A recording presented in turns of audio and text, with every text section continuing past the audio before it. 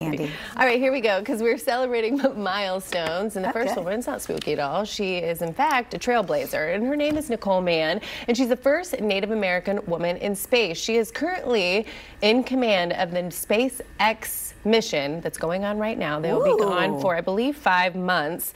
Um, yeah, the International Space Station. There she is.